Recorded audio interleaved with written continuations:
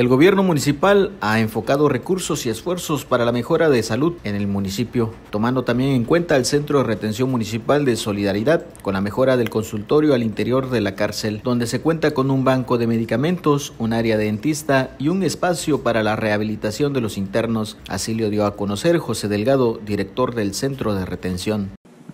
Aparte de tener dispensar, tenemos ya, ya, y ahora sí decentemente, un lugar donde el PPL este, se puede atender.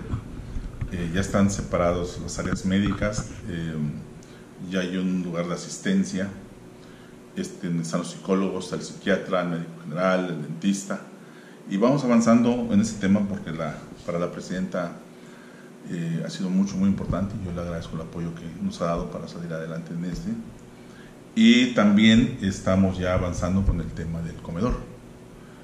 Ya el PPL puede ingresar a un área y este, donde tienen cierto tiempo para sus, sus alimentos y regresan a sus fases.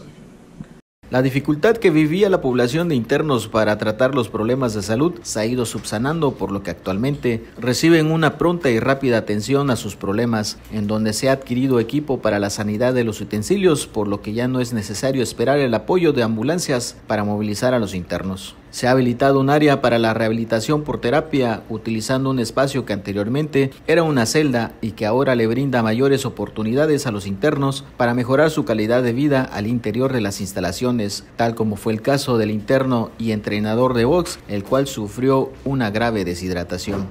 Y ya el señor director pidió que me tuvieran aquí en observación médica la verdad me han dado un buen trato, por eso lo llamé ahorita para darle las gracias, porque la verdad que es una persona íntegra, que me ha dado la oportunidad de regenerarme en este lugar y sobre todo nos proporcionan los libros para seguir aprendiendo y, y seguir este, valorando todo lo que él hace por nosotros y que nosotros también tenemos que poner de nuestra parte para seguir adelante.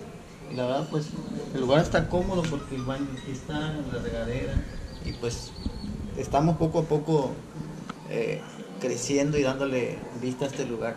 La verdad, él es una persona íntegra, seria y que la verdad se ha preocupado por nosotros y desde que él está trabajando las cosas han ido mejorando muchísimo. De hecho, la situación entre los reos ha sido excelente porque ya hay más, más convivencia entre todos nosotros. Eh, él ha tratado que en la parte deportiva también este, haya mejoramiento. Por ejemplo, hacemos eventos boxísticos donde viene el Consejo Mundial de Boxeo. Con imágenes de Edgar Olivares para Notivisión, Joel Zap.